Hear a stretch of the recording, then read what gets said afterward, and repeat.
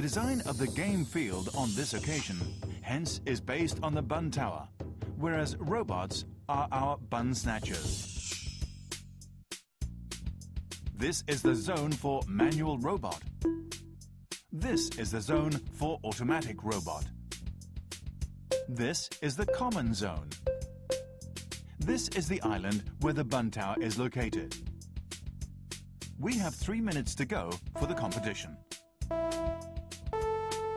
An operator rides on the manual robot to do the controls. The manual robot picks up the token and goes to the tunnel. Pay the toll before passing the tunnel. You score 10 points after putting the token into the token box. After that, automatic robot may start to pick up the basket in the common zone and place it in any area of the manual robot zone. You score 20 points for this. At the same time, manual robot should carry the collector robot to the loading area 1 and unload it on the automatic robot. You score 10 points for this. Automatic robot carries the collector robot across the bridge. Meanwhile, the manual robot should pick up the basket. There are two options for the automatic robot to unload the collector robot. The first option is to unload the collector robot inside the loading area 2. You score 30 points for this. The manual robot should put the basket in the basket area of the island. You score 10 points for this.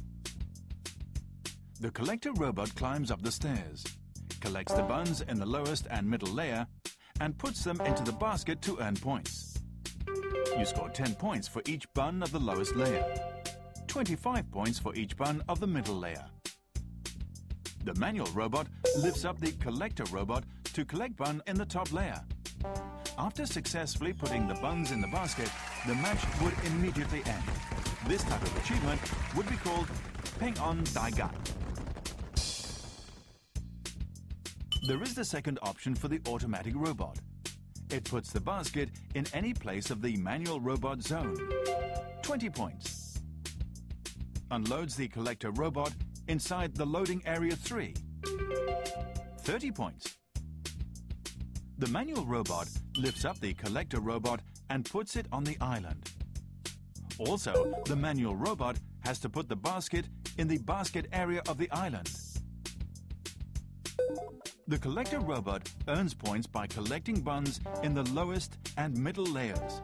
The manual robot lifts up the collector robot to collect bun in the top layer.